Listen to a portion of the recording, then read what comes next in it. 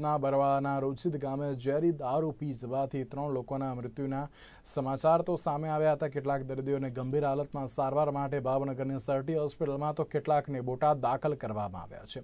ત્યારે આ ઘટનાને લઈને કોંગ્રેસના પ્રવક્તા મનીષ દોશીએ જણાવ્યું હતું કે ગુજરાતમાં રોજ સરકારના આશીર્વાદથી કરોડો લીટર દારૂ ઠલવાય છે.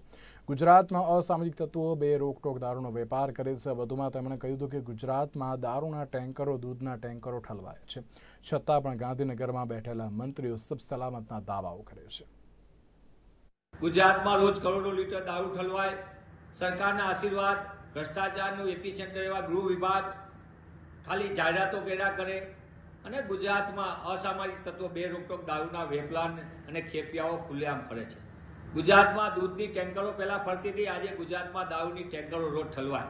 અને છતાં ગાંધીનગરમાં બેઠેલા સંત્રીઓ કે મંત્રી સબ સલામતના દાવા કરે છે. ગુજરાતમાં ભાજપા સરકારના વરિષ્ઠ મંત્રી રહી ચૂકેલા અને ભરૂચના વરિષ્ઠ સાંસદે પણ કીધું કે પોલીસ પાયલોટિંગ કરે છે. એમને પણ કીધું કે રોજ દારૂ ઠલવાય છે.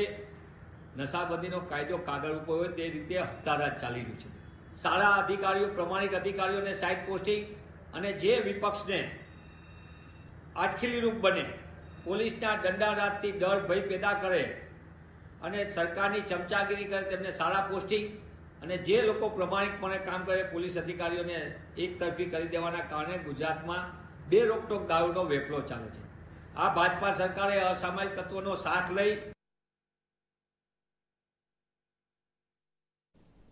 મહેસાણા ડિસ્ટ્રિક્ટ કોઓપરેટિવ બેંકના ચેરમેન અને વાઇસ ચેરમેન પદ માટે ચૂંટણી યોજવામાં આવી હતી ત્યારે ચેરમેન પદ ઉપર વર્તમાન ચેરમેન વિનોદ પટેલની